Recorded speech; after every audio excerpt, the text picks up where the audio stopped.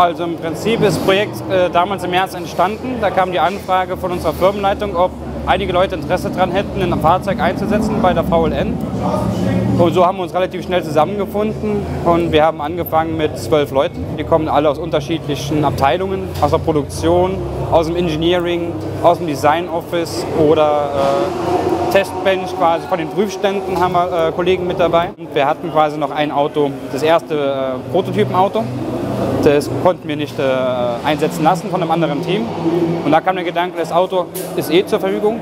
Warum sollen wir das Auto nicht nehmen und in der VLN antreten? Also das Fahrzeug ist der Toyota GT86 Cup-Version. Also wir fahren das Auto identisch wie auch im Cup eingesetzt wird. Das Fahrzeug hat 200 PS. Wir fahren auf Pirelli-Reifen und sind damit eigentlich gut aufgestellt, gerade in unserer Klasse, weil wir in der V3-Klasse antreten und nicht in der Cup-Klasse. Und da kämpfen wir natürlich gegen andere Fabrikate auf anderen Reifen. Und ich denke, die Kombination mit den Reifen und diesem Auto, die sind äh, gut genug, um wirklich vorne um den Klassensieg mitzufahren.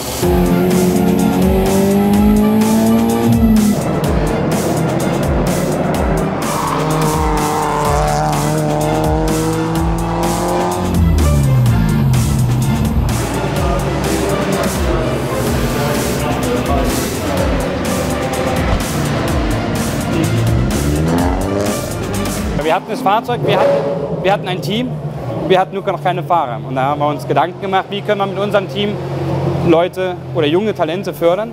Und dann haben wir mit IK Media zusammen ähm, ein Fahrercasting ins Leben gerufen. Und so sind wir an den äh, Moritz Österreich geraten.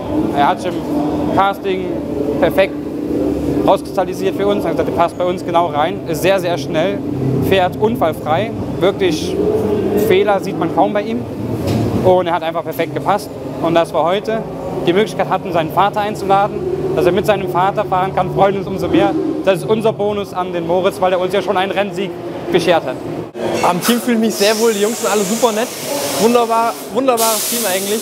Alle sehr professionell, aber trotzdem der Spaß fehlt nicht. Abends ist immer sehr witzig beim Grillen.